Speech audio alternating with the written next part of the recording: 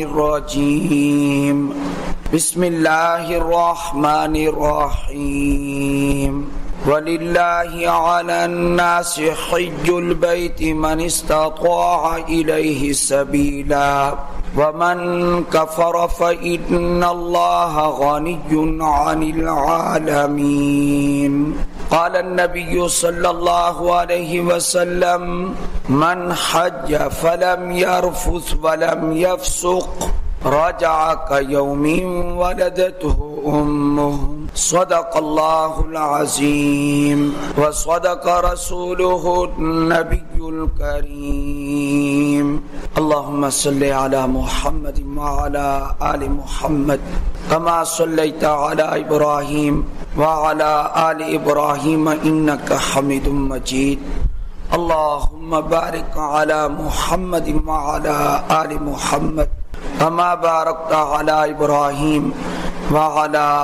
आल इब्राहिम इन्नक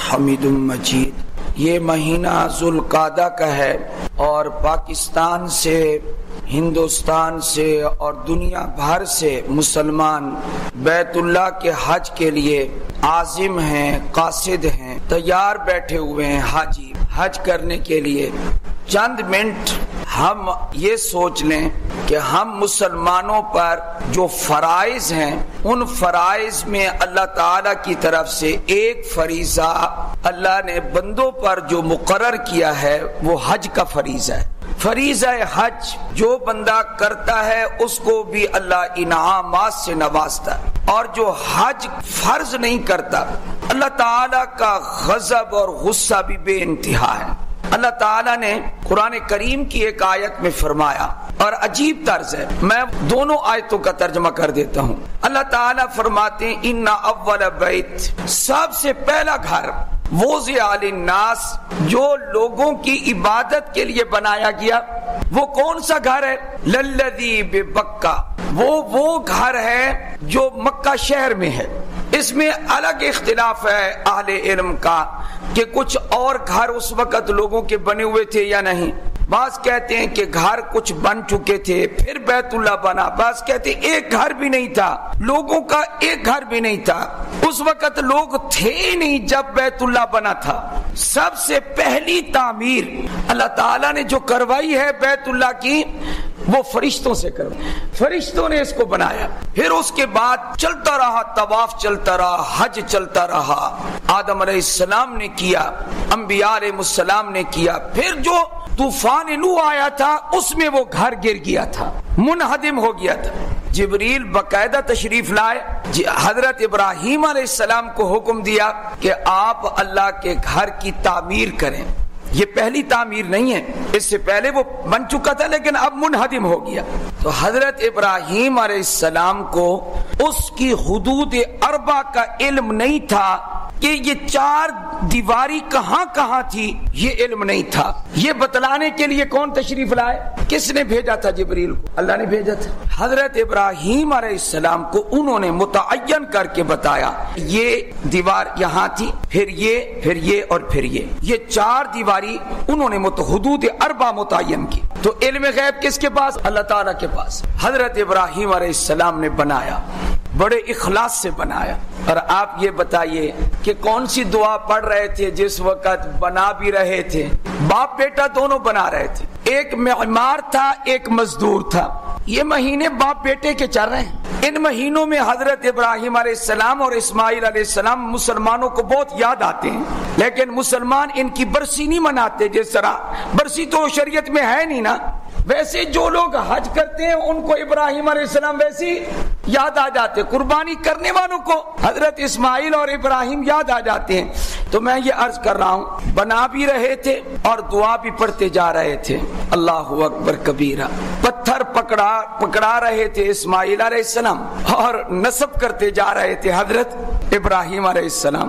और क्या कह रहे थे? रब्बना तकब्बल मिन्ना, इन्नका अंतस समीउल अलीम अल्लाह तेरी शायान शान जिस तरह इस घर को बनाना था, हम उस तरीके से न बना सके। तेरी शान बड़ी आला है और यकीनन हमसे कोई कमी हो गई होगी। लेकिन तू अपनी मेहरबानी से हमारी इस तामीर को, इमारत को कबूल फरमा ले और साथ ही फरमा दिया इन्ना का अंत समी लालीम ये दो सिफतें अल्लाह ने ज़िक्र की हैं कि मेरे इब्राहिम और इस्माइल ने दुआ करते हुए ये दो सिफात मेरी ज़िक्र की हैं। तू सुनने वाला भी है, जो दुआ करता है, उसकी दुआ को सुनने वाला भी है, और अल अलीम उसकी अंदर की नीयत को भी। मुबारक। पहला घर जो माबद के तौर पर, इबादत के तौर पर बनाया गया, वो वो घर है जो मक्का शहर में है। मुबारक। बाप बरकत है वो घर, जिसको अल्लाह ने कहा हो कि वो घर बरकत वाला है। अल्लाह ने जाहिरी नहीं सारी बरकतें उसमें रखी हैं। जितनी जाजबियत अल्लाह ने बैतुल्ला में रखी है, किसी जगह में इतनी कशिश नहीं है जितनी बैतुल्ला में कशिश है। बैतुल्ला की मोहब्बत मुसलमान का ईमान है। रोज़े रसूल से मोहब्बत मुसलमान का ईमान है, बैतुल मुकद्दस से मोहब्बत मुसलमान का ईमान है। इसलिए मैं अर्ज़ कर रहा हूँ, अल्लाह जल्ला जलालहू ने फरमाया, एक तो वो बाबरकत है, वो घर बाबरकत है। जितने दुनिया में घर हैं बड़े बड़े घर हैं छोटे छोटे घर हैं, लेकिन सबसे ज़्यादा अल्लाह ने बरकत किसमें रखी है? बैतुल्ला। कुरान में है ना, ये कुरान की बातें सुना रहे वह आलमीन। अल्लाह ने फरमाया कि ये मेरा जो घर है, ये सारे जहान वालों के लिए हिदायत है ये। हिदायत का मरकज है। जितनी हिदायत वहाँ से फैलती है, इतनी हिदायत कहीं से नहीं फैलती। गैर मुस्लिम जोड़ा, जद्दा में उनकी नौकरी थी। खामद बीवी में से एक ईसाई और दूसरा यहूदी। ये अपनी मुलाजमत के सिलसिले में जद्दा में थे।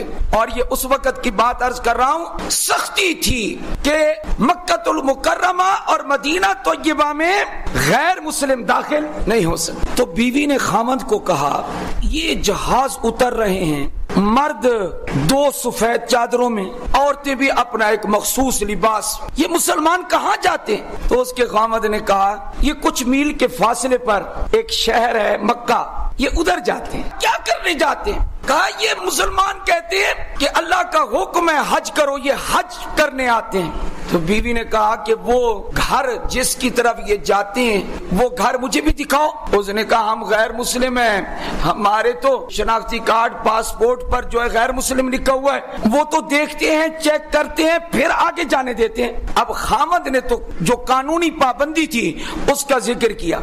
लेकिन बीवी तो फिर बीवी होती है ना, वो काम भी बंदे से करवा लेती है। उधर तो फिर अकलमंद आदमी भी। जी, बीवी ने कहा था। तो बीवी ने क्या कहा? कि मैंने तो वो घर देखना है, जिस घर की तरफ़ ये मुसलमान जाते हैं, मैंने वो देखना है। उसने कहा, फिर कोशिश करते हैं, शायद कामयाब हो जाएँ। मैं वो मुसलमानों वाली दो चादरें पहन लेता हूँ, और तू वो कोई बना, कैप शैप बना और ऊपर डाल। थे वो कौन? यहूदी और ईसाई। अब जब ये चौकी पर पहुँचे, जो मक्कतुल मुकर्रमा के रास्ते पर थी तो अल्लाह जब किसी को नवाजने पे आता है तो सारी रुकावटें खत्म कर देता है। अल्लाह जिसे हिदायत हिदायत दे, ये अल्लाह है, बस। अल्लाह जिसको अपने करीब कर ले तो कोई पूछ नहीं सकता। और जिसको वो दूर कर दे तो कोई उससे पूछ नहीं सकता। ला युस अम्मा यफ वहुम युस अलून अल्लाह फरमाते हैं, जो मैं करता हूँ, मुझसे कोई नहीं पूछ सकता। और जो तुम करते हो, तुमसे तो पूछा जाएगा। लोगों से पूछा जाएगा। अल्लाह से कोई नहीं पूछ सकता।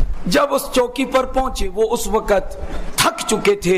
ये चेकिंग कर करके खाने का वक्त था, शुरतों का, पुलिस वालों का। उन्होंने कहा, खाना खाओ भाई। वो खाने में मशगूल थे। इधर इनकी गाड़ी जब पहुँची, उन्होंने दूर से वो नज़र डाली। वो देखा, एहराम तो है। हाजी साहब तो बना हुआ है ना? यल्ला यल्ला। बस अल्लाह ताला की जब रहमत हो जाए ना, फिर मैं कहता हूँ, कोई रुकावट सामने आती नहीं। अब इन्होंने गाड़ी खड़ी की और कहते हैं कि अब हम जा रहे हैं। जिधर ये हाजी जा रहे हैं, मुसलमान जा रहे हैं। चलते चलते चलते बैतुल्ला पर जब निगाह पड़ी तो उसने कहा, ये है वो घर। क्योंकि फ़ोटो तो बैतुल्ला के पहले देखे हुए थे। कहते, अब क्या करना है? कहा, अब जो है, जैसे ये कर रहे हैं, वैसे करना है। अब वो पहुँच गए हजरे असवद के पास। कोई पता नहीं क्या करना है, क्या नहीं। जैसे चक्कर मुसलमान लगा रहे हैं, वो भी दरमियान में लगा रहे हैं। किसी मुसलमान ने उनको कोई दावत नहीं दी, कुछ समझाया नहीं, किसी ने उनको कुछ कहा नहीं, लेकिन एक दो चक्रों के बाद बैतुल्ला ने अपना काम दिखाना शुरू कर दी वो काम जो कुरान में है वह हुदल आलमीन, ये जहान वालों के लिए हिदायत है। बीवी का दिल नरम हो गया। कोई पता नहीं है कि क्या चीज़ असर कर रही है। अल्लाह की रहमत बरसती हुई कुलूब पर मुतवजे हो गई और अल्लाह ने इस जोड़े को कबूल फरमाया। खामद ने अपनी बीवी को देखा, तवाफ में कि कोई बातचीत ही नहीं कर रही। चुप। चुप है। समझ ही नहीं आती कि क्या है, क्या नहीं। क्या हो रहा है? कौन सी कशिश है जो हमें अपनी तरफ़ खींच रही?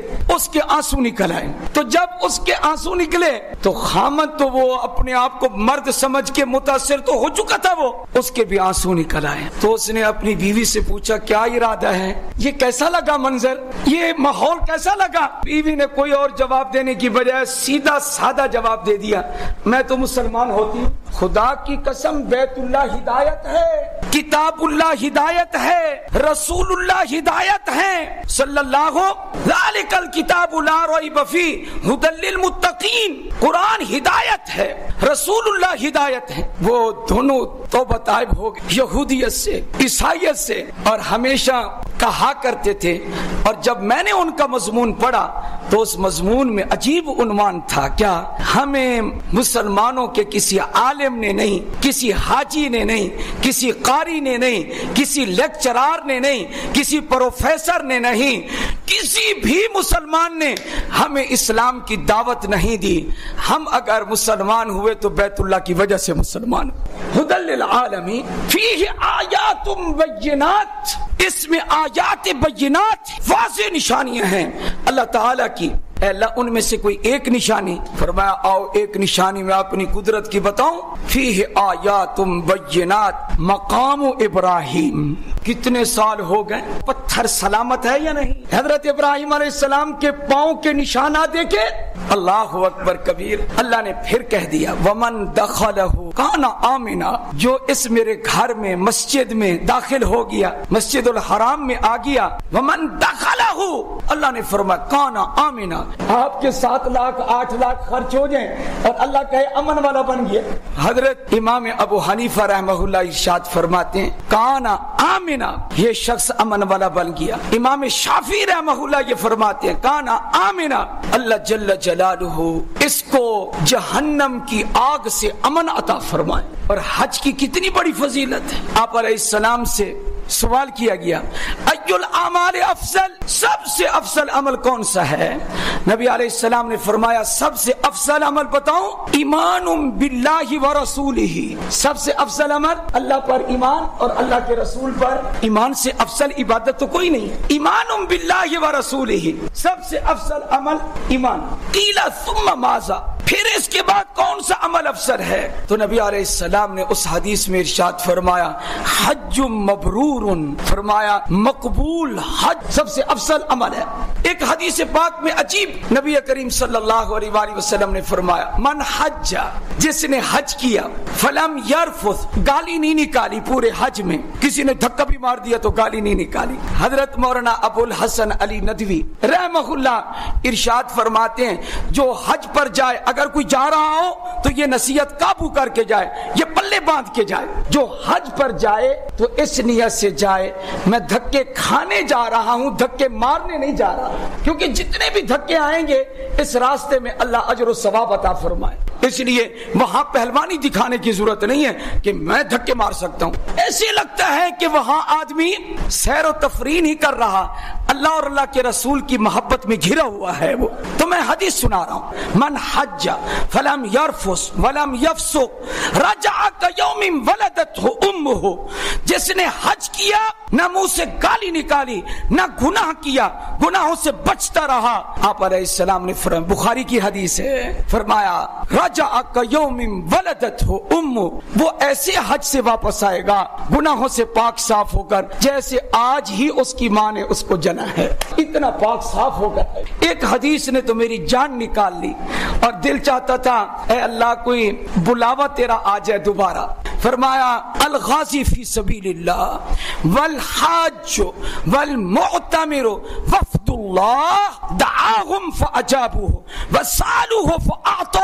तीन किस्म के लोग। नंबर एक अल गाजी फ़ी सबीलिल्लाह, मुजाहिद, दीन इस्लाम के लिए जिहाद करने वाला शख्स। नंबर दो अल हाज बैतुल्लाह का हज करने वाला। अल मुअतमिर उम्रा करने वाले लोग। तो आप सलाम ने इनके बारे में क्या फरमाया? वफदुल्लाह, ये अल्लाह के बुलाए हुए मेहमान हैं। इसलिए तो बसों पे भी लिखा होता है वहाँ पर जुयूफुर रहमान रहमान के मेहमानों, ये बसें तुम्हारे लिए बनी हैं। चमकती, दमकती बसें और सफ़ाई और हर चीज़ तुम्हारे लिए। जुयूफुर रहमान रहमान के मेहमान आ गए। कहाँ कहाँ से आए? सदियों पहले का वाक्य। जलालन के हाशिया अरबी में लिखा। मैं तवाफ कर रहा था। उसने पूछा दूसरे से, मिन आईना कहाँ से आए हो? मसीरत शहर दो महीने का फासला तय करके आए हम। हमें कितना अरसा लगा? दो महीने। उसने कहा, सुनने वाले ने कहा अन तुम जीरान हो बैतुल्ला तुम तो बैतुल्ला के पड़ोसी हो फिर। उसने कहा, तुम कहाँ से आए हो? उसने कहा, कितना वक्त लगा? ये न पूछो हम साल साल गुजर गए हैं। इतनी दूर दराज से सफ़र करके बैतुल्ला देखना नसीब हुआ है। ये कहने लगा हाँ इतना याद है मुझे। न दिन याद है, न महीने याद है, न सालों की तादाद मुझे याद है। सफ़र करते करते करते करते बस इतना याद है, जब वतन से चला था, ये बाल सियाह थे। जब अल्लाह के घर पहुँचा तो सफ़ेद हो चुके ये क्या चीज़ है ये? ये बैतुल्लाह का इश्क ये मोहब्बत है, ये नजात है, ये हिदायत का रास्ता है। नबी पाक सल्लल्लाहु अलैहि वसल्लम ने फरमाया फरमाया, दाआहुम फअजाबू हो अल्लाह ने इनको बुलाया, ये अल्लाह के बुलावे पर अल्लाह के घर आए। कानून है, हर मेजबान अपने मेहमान को इज़्ज़त देता है। तो अल्लाह ने क्या इज़्ज़त दी वो हमारे नबी ने फरमा दी है। सल्लल्लाहु क्या? क्या इज़्ज़त? दी फरमाया सालू हो इनके हाथ जब भी उठते हैं, कोई चीज़ मांगते हैं, अल्लाह अता फरमा दे। ये इनाम अल्लाह ने अता फरमा हो फ़ाताहुम दुआएँ कबूल होती हैं, बहुत दुआएँ कबूल होती हैं। और जितना खर्च करके जाओगे, ऐसे महीने, दो महीने में, छह महीने में देखोगे, अल्लाह ताला तुम्हें उतना वापस लौटा दे अल्लाह तुम्हें अदा फरमा देंगे तुम्हें। अल्लाह हमें बैतुल्ला का सबको हज नसीब फरमाए। वह आखिर दावाना अलहमदुल्ला